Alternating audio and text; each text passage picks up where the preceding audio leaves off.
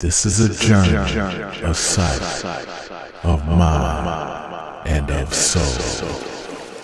Just close your eyes and let the grooves flow through.